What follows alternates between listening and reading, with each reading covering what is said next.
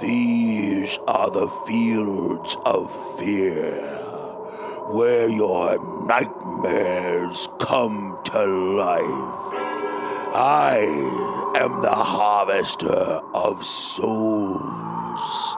Prepare to meet your maker.